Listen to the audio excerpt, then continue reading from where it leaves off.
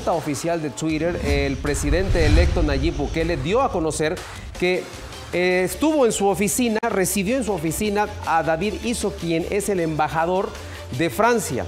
El embajador, por supuesto, le, dio una carta del presidente de Francia, Emmanuel Macron, a donde, además de felicitarlo, hace extensiva su intención de fortalecer las relaciones que ambos países mantienen, evidenciando de esta manera la proyección del gobierno salvadoreño. En su carta menciona, abro comillas, mantenemos ya una cooperación fructífera, en, en particular en los ámbitos de las energías renovables, el acceso al agua, los intercambios universitarios o incluso el patrimonio arqueológico. Deseo con su apoyo fortalecer más nuestras relaciones, dice parte de la carta enviada desde Francia al presidente electo Nayib Bukele.